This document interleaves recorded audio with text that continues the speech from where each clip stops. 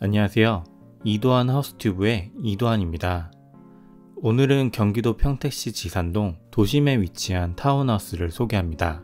아파트 단지 바로 옆에 있는 이 주택 단지는 두 개 동 8세대로 이루어진 수직형 타운하우스입니다. 평택 남부 지역에서 대표적인 수직형 타운하우스는 평택시 용의동에 위치한 GL 테라스를 꼽아볼 수 있겠네요.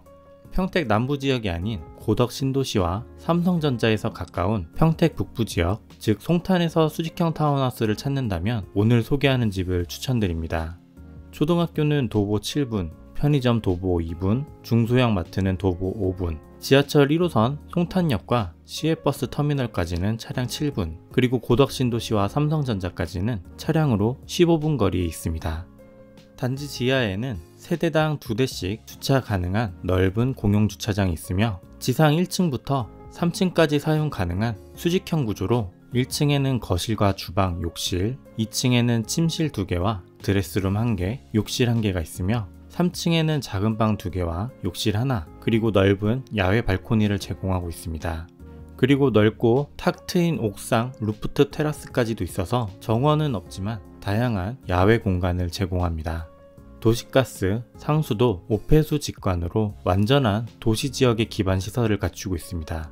전용 면적은 35평이며 테라스 포함 실사용 면적은 약 44평입니다. 분양 가격은 4억 1,900만원이며 8세대 중 7세대는 분양 완료된 상태이고 단 한 세대만 분양하고 있으니 관심 있으신 분들이라면 서둘러 현장 둘러보시기 바랍니다.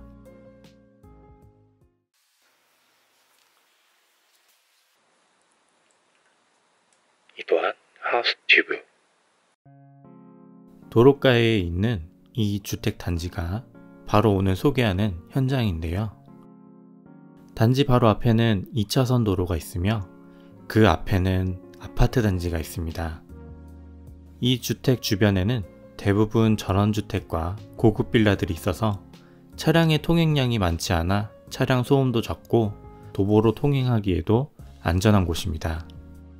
지금 보시는 것처럼 지하 주차장 입구와 입주민만 출입 가능한 출입문이 있습니다.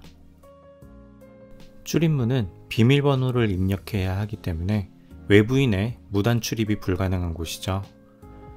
단지 내 지하 주차장은 세대당 두 대씩 주차할 수 있을 정도로 넉넉하고 여유가 있습니다. 아직은 차량 출입 차단기가 설치되어 있지는 않지만 추후에 입주민 회의를 통해 설치가 가능합니다. 주차장 층고도 높고 차량 주차 폭도 넓게 되어 있어서 편리하게 이용할 수 있습니다. 주차장 안쪽에서도 이렇게 비밀번호를 누르고 출입할 수 있는 문이 또 있습니다. 내부 홀로 들어오면 계단을 통해서 지상 1층으로 갈 수 있고요. 엘리베이터를 타고 올라갈 수도 있습니다. 지상 1층 홀에는 이렇게 CCTV 모니터까지 설치되어 있습니다. 단지 내 CCTV가 설치되어 있어서 보안도 꽤 신경 쓴 모양입니다. 지상 1층 단지 내로 들어오면 뒷동과 앞동 사이로 이동이 가능합니다. 오늘 보실 집은 앞동이기 때문에 프라이버시 측면에서 더욱더 좋은 위치라고 할 수 있습니다.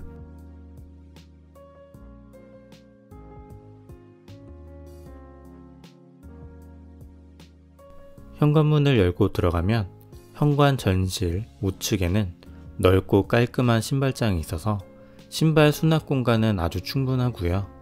전체적으로 마블링 패턴이 들어간 고급스러운 대리석 타일로 벽면과 바닥을 채워주었습니다. 그리고 중문은 삼연동 슬라이드 방식의 자동문입니다. 수동으로도 설정하실 수 있고요. 자동으로 사용하셔도 전기세는 상당히 저렴한 편이니까 자동으로 사용하시는 걸 추천드립니다. 내부로 들어오면 정면에는 2층으로 올라가는 계단과 계단 아래 공간을 활용한 1층 게스트 미니 욕실이 있습니다. 좌측으로는 거실과 주방이 있는데 우선 욕실부터 살펴보겠습니다. 계단 아래 공간을 활용한 욕실이지만 층고는 넉넉한 편이고요.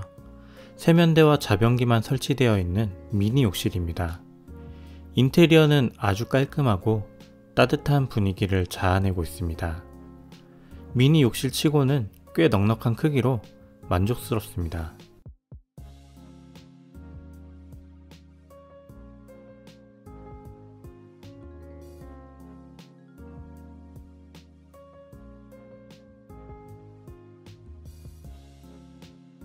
(1층의) 바닥 전체는 고급스러운 헤링본 타일로 시공되어 있습니다. 거실과 주방이 통합되어 있는 구조로 거실 공간은 아주 넉넉하고 쾌적합니다. 바닥에 헤링본 타일과 노란 간접 등으로 따뜻한 분위기를 보여주고요. 거실의 양옆으로 웨인스 코팅이 되어 있어서 고급스러워 보이기도 합니다. 거실 정면에는 아파트 단지가 보이는데요. 아파트와는 수직으로 배치되어 있고 샤시 유리에는 틴팅 처리가 되어 있어서 낮 시간에도 외부에서 내부가 잘 보이지 않습니다. 이 주택은 기본 인테리어 자체가 잘 되어 있어서 입주하실 때 굳이 많은 돈을 들여서 인테리어 공사를 하실 필요가 없습니다.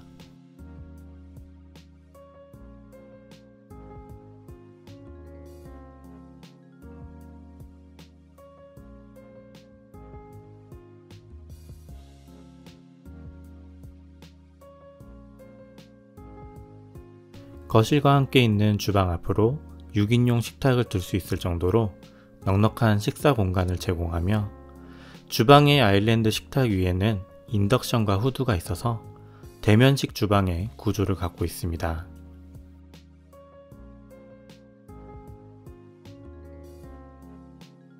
측면에는 냉장고 두 대 설치 가능한 공간을 마련해 두었고요. 안쪽에 이 공간은 세탁기와 건조기를 설치할 수 있는 공간입니다. 주방의 wood 상판과 화이트 주방 가구의 조합이 아주 깔끔하고 멋집니다. 기본적으로 넓고 큰 싱크볼이 안쪽에 있지만 아일랜드 식탁 위에도 작은 싱크볼을 하나 더 설치해 두었다는 것이 가장 큰 특징입니다. 상부장을 포함해서 아일랜드 식탁과 주방 하부장에 모두 수납 공간이 있어서 수납 공간은 주택의 규모 대비 넉넉한 편입니다. 주방의 메인 싱크볼을 보시면 일반적인 기성 싱크볼 제품과는 다른 수입산 제품을 사용했습니다. 각지고 깊은 형태의 어두운 메탈 재질로 된 싱크볼은 쉽게 볼 수 없는 고급 제품이죠. 싱크볼 위로는 환기창이 설치되어 있어서 맞바람으로 환기를 시원하게 할 수 있습니다. 아일랜드 식탁에는 작은 싱크볼이 있어서 조리할 때 필요한 물을 받거나 간단한 설거지도 할 수 있습니다. 가능한 모든 조리를 아일랜드 식탁 위에서 다 해결할 수 있죠. 금색 수정까지도 건축주분이 직접 선정해서 수입산으로 설치했습니다. 싱크볼 2개, 냉장고 2대도 넉넉히 들어가는 주방의 구성과 동선이 효율적으로 되어 있는 멋진 주방입니다. '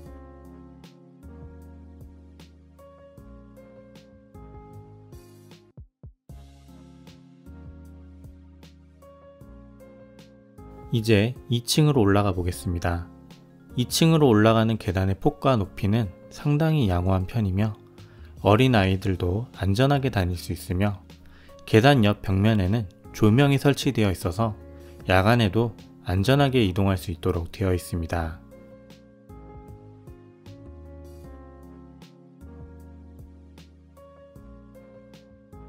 2층에는 넓은 침실 2개와 욕실 1개, 드레스룸과 작은 야외 발코니가 있습니다.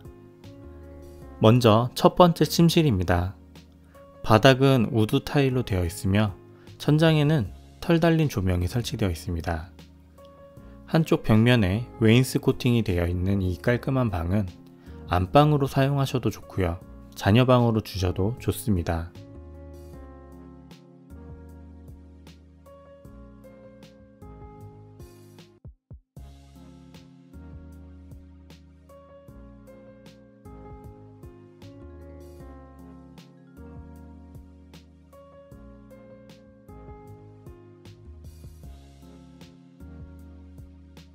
그리고 이 방에는 작은 야외 발코니가 딸려 있습니다. 냉방을 위한 실외기가 설치되어 있지만 간단한 바람을 쐬러 나오기에는 꽤 괜찮은 공간이죠. 원하시면 썬룸으로 시공하셔서 실내 공간으로 활용해도 좋고 눈비를 막아줄 천장만 시공하셔도 나쁘지 않습니다. 그리고 이 방 안쪽에 있는 이 슬라이딩 도어를 열면 바로 드레스룸과 욕실이 나옵니다.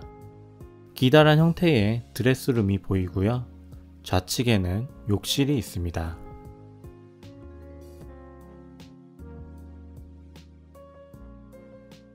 욕실은 요즘 시대에 맞는 고급스러운 흰색 마블링 패턴의 타일과 금색 수전을 사용했습니다.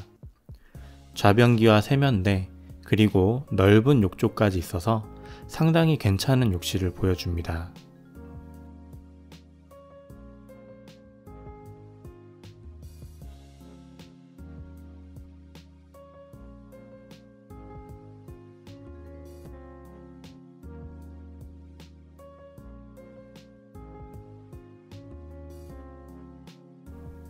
드레스룸에는 이렇게 시스템장이 설치되어 있지만 옷장으로 다시 꾸미셔도 좋고요. 남는 여유 공간을 활용하시면 수납 공간은 더 넉넉하게 쓰실 수 있습니다. 드레스룸 옆에도 문이 하나 더 있는데요. 이곳은 잠시 후에 보여드리겠습니다.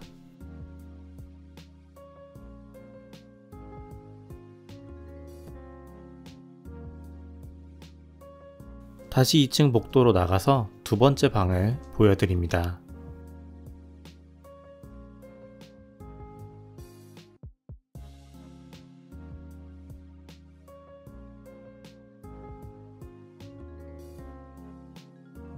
복도 끝에 있는 이 두 번째 방 역시 상당히 넓습니다. 시스템 에어컨이 설치되어 있으며 첫 번째 방 못지않게 넓기 때문에 이곳을 안방으로 사용하셔도 좋습니다.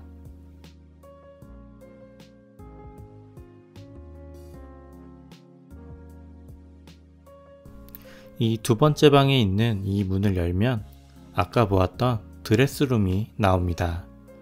이런 구조로 욕실과 드레스룸을 공유할 수도 있고요. 어느 한쪽 방의 문을 막아서 개별로도 사용할 수 있습니다. 1층과 3층에도 욕실이 있으니까 이곳은 안방을 위한 공간으로 바꾸셔도 됩니다. 2층의 인테리어도 호불호가 적은 상당히 보편적이고 깔끔한 모습을 보여줍니다. 너무 개성적이지도 않고 너무 촌스럽지도 않은 이런 인테리어가 저는 가장 최고라고 생각합니다.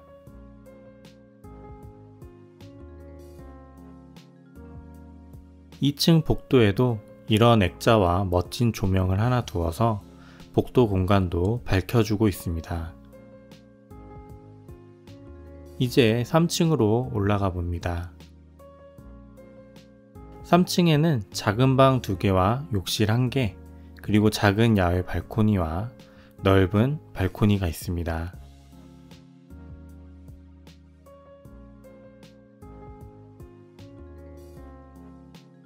우선 3층 공용 욕실입니다. 화이트와 블랙으로 포인트를 준 이 욕실은 좌변기와 세면대, 샤워 부스까지 갖출 것은 다 갖춘 욕실인데요. 동일 유사 면적 규모의 다른 타운하우스 대비 욕실의 크기는 상당히 넓은 편인 것이 확실하네요. 3층의 첫 번째 방부터 보여드립니다. 2층의 방보다는 확실히 작지만 자녀의 침대와 책상 정도는 충분히 들어가고요. 작은 옷장까지도 설치할 수 있습니다. 그래도 넉넉한 크기의 방이라고 할 수 없기 때문에 공간의 부족함은 바로 옆에 있는 또 다른 방을 활용해서 채워줄 수 있습니다. 그리고 이 방에는 작은 야외 발코니가 있는데요. 이렇게 눈이 오거나 비가 오는 경우를 대비해서 추후에는 천장 지붕이나 썬룸으로 시공하는 것이 더 좋을 듯 합니다. 넓지는 않지만 채광이 좋은 곳으로 썬룸으로 시공해서 다용도실이나 창고로 활용하시는 걸 추천드립니다.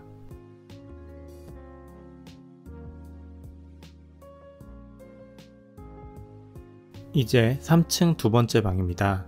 파스텔 오렌지 색과 흰색 투톤 벽지로 시공된 이 방 역시 첫 번째 방과 거의 동일한 크기입니다. 드레스룸이나 서재로 활용하셔도 좋습니다.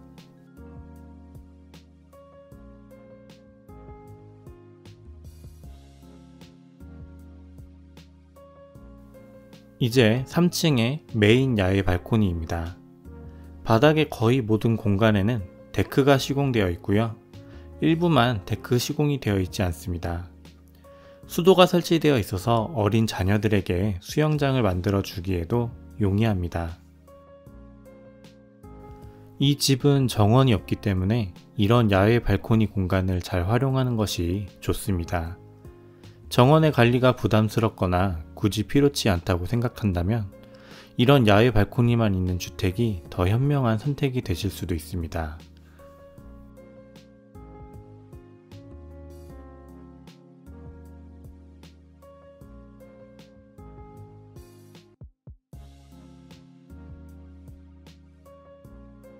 이제 이 집의 마지막 공간인 옥상 루프탑입니다.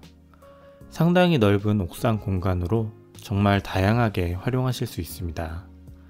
3층의 야외 발코니도 좋지만 저는 개인적으로 이 루프탑 공간이 더 넓고 탁 트여서 마음에 듭니다.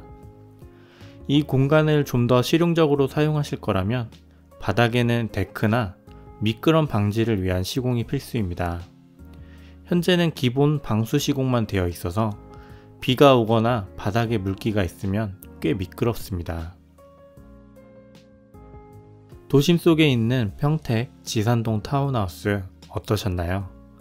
초등학교가 가깝고 도심에 있어서 초등학생 자녀가 있는 분들이나 평택 북부 송탄 지역 내에서 이런 깔끔한 주택을 찾는 분들에게 추천드립니다.